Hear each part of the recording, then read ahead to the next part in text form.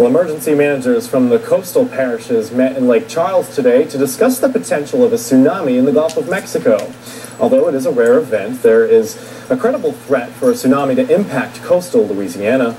As a part of Tsunami Awareness Week, the National Weather Service is showing emergency officials the risks associated with a tsunami and helping them create a plan to deal with such an event. A low probability event, but a very high impact event. So a lot of people are not aware that there's a tsunami hazard along the, the Gulf Coast. An underwater landslide poses the biggest threat to create a tsunami in the Gulf, and with little to no warning, emergency managers need a firm plan of action in place.